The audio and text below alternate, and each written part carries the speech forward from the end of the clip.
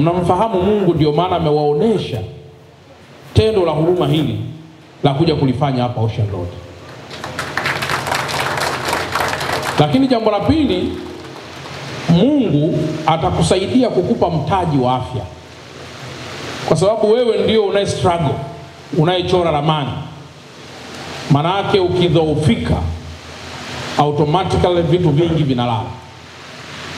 Kwa hiyo ili uweze ku excel zaidi na sisi tuendelee kuwa sehemu ya, ya kufaidika na shughuli zako, tunahitaji kukuona ukiwa unaendelea kuwa na afya njema.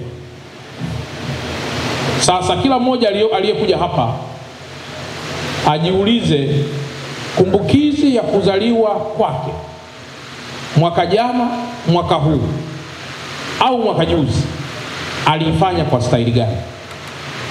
Isivera ni fair. Unapokwenda mahali umefungua bia zako, isivera ni fair. Unapokwenda mahali umeweka wali mwingi namna hii, isivera ni fair. Unapokwenda mahali umeweka mtungi wa shisha mpaka uishe, isivera ni fair. Unapokwenda mahali unaagiza mirungi kwa bajeti ya pesa karibu yote, isiveri very fair kwa kitu alichokifanya ndugu yetu Gari Bulema. Ndugu zangu hapa, kila mmoja atumie kwa muda wa sekunde tatu tu afikirie hili lifuatalo. Hivi tunavyoongea hapa, unapocheka hapa, unapochati na mwenzio hapa, kuna mtu yuko hospitali ameambiwa usikae na simu. Kuna mtu yuko ndani hapa hawezi kutembea. Kuna mtu yuko ndani hapa hela zote zimekwisha kwa ajili ya kumtibu ndugu yake. Kuna mtu yuko hapa hana matumaini tena kuhusu kesho yake. Kwa hiyo kila mmoja autukuze utukufu wa Mungu huu, na katika hilo tuhamasike kutoa sadaka takatifu kama hii ambayo ndugu yetu Garibu na familia yake wameifanya hapa Ocean Road. Walioko vitandani hawapendi kuumwa. Sasa kinachokuja swali la pili au jambo la pili la muhimu, watu wenye maisha na fedha na hali na levo za ndugu yangu kaka yangu Garibu wako wengi tu, lakini heshima huwa haiwezi kujengwa kwa fedha tu ulizonazo.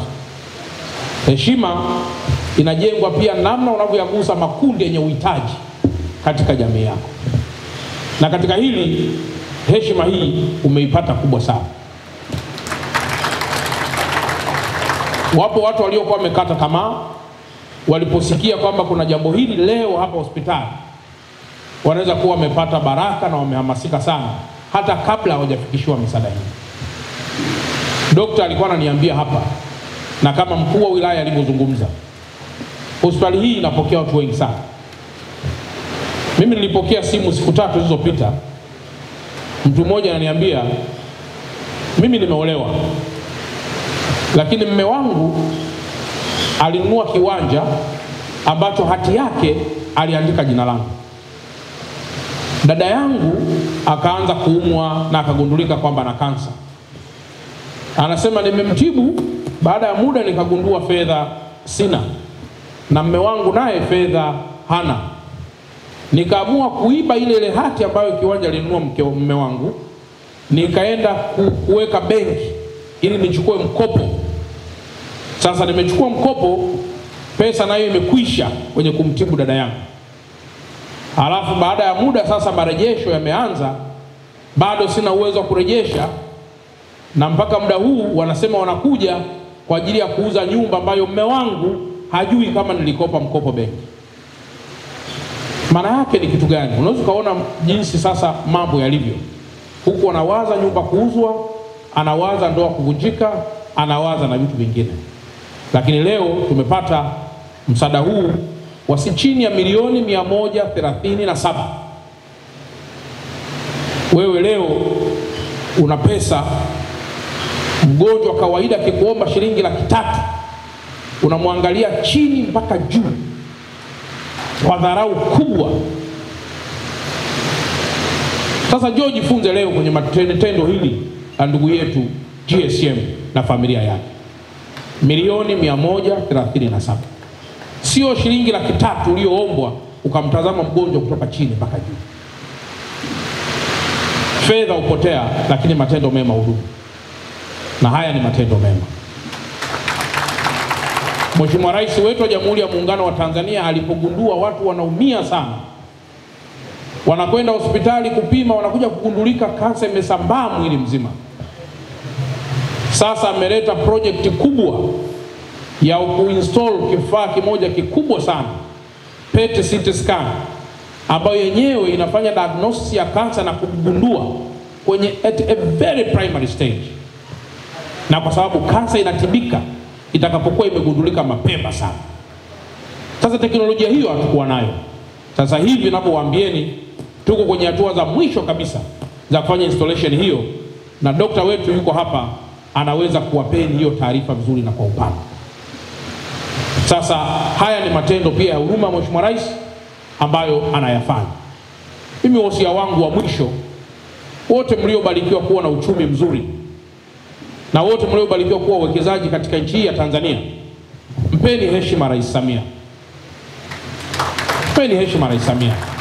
Naomba niwaelezeni Watanzania wa chini wasiokuwa na uwezo, wakigundua kuna matendo ya hovyo yanayofanywa na wenye uchumi mkubwa, matusi yanakwenda kwa rais wetu kwamba hana uwezo wa kuwaonya wakubwa, lakini kumbe sio kweli.